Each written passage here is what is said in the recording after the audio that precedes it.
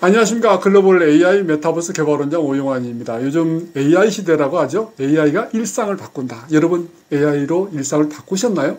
저는 실제로 AI로 일상을 바꾸고 있습니다. 아, 어떻게 바꿨냐고요? 음, AI 아티스트로서 정말 활동을 많이 하고 있고요. 거기에다가 브레인을 더 붙여서 브레인 AI 아티스트 제 1호로 활동하고 있습니다. 아, 브레인 AI 아티스트가 뭐냐고요? 네, 두뇌 산업과 AI를 융복합한 건데요. 정말 AI는 연결하고 연결하고 또 연결되는 초연결 사이로 만들어가는 거거든요. 여러분 이제 AI 시대 여러분도 AI로 융복합해서 정말 새로운 직업을 만들어냈고 여러분 가지고 있는 직업을 훨씬 더 업그레이드 시킨 그런 성공한 사람이 됐으면 좋겠습니다.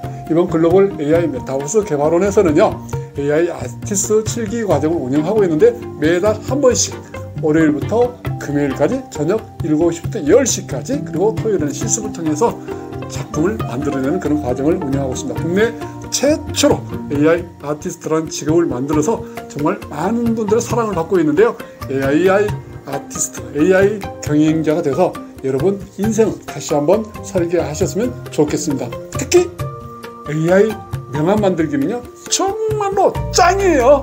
글로벌 AI 아티스트 여러분 항상 응원합니다. 함께해요. 짱!